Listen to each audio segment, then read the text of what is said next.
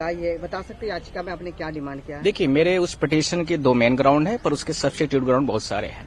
पहला पिटीशन में ये है कि जो कांग्रेस पार्टी ने अपना आठ तारीख को इलेक्शन कमीशन ऑफ़ इंडिया से प्रेजेंटेशन दिया था, जिसमें यह बोला गया कि 99 परसेंट से 70 परसेंट की बैटरी चार्ज पाई गई, जिसमें कांग्रेस पार्टी जहाँ जहाँ बैटरी चार्ज हुई है, वहाँ वहाँ हार गई। मेरा प्रश्न यह है कि और जगह पर जहाँ ईवीएम यूज़ थी, वहाँ पर 99 परसेंट या 99 परसेंट से लेकर के 70 परसेंट क्यों चार्ज नहीं हुई थी।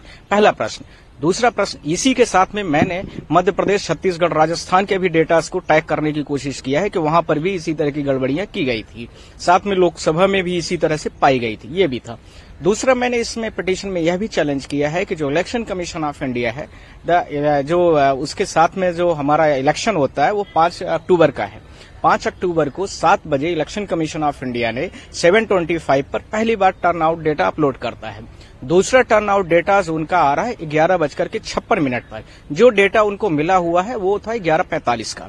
यानी एक पहले वाले डेटा को पब्लिश करने में टेन मिनट्स लगता है, दूसरे वाले को पब्लिश करने में उनको ट्वेंटी मिनट्स का टाइम लगता है।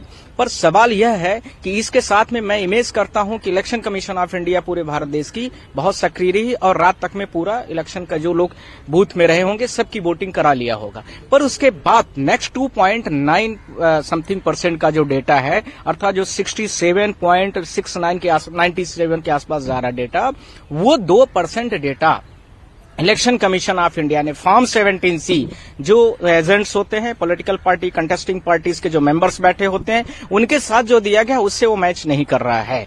It's very important things to hear this election commission of India did not conduct the free and fair election in this Haryana election and similarly yes same thing is happened in the Lok Sabha election तो आपका prayer क्या है? मेरी prayer सिर्फ़ दो है। कि जहाँ पर सस्पेक्टेड ईवीएम्स हैं, जो 100 परसेंट से लेकर के 70 परसेंट पाई गई हैं, उन सारे में कम से कम दोबारा चुनाव कराया जाए। और इसके साथ में मेरी दूसरी प्रेयर यह भी है कि इलेक्शन कमीशन ऑफ़ इंडिया जो ढाई परसेंट डेटा जो फॉर्म सेवनटीन सी से नहीं मैच कर रहा है, वो कहाँ कहाँ का है, उसको डिस्क्लोज करे। और यदि कोर्ट उसमें पाता है तो वहाँ पर भी विधानसभा दोबारा चुनाव कराए जाए।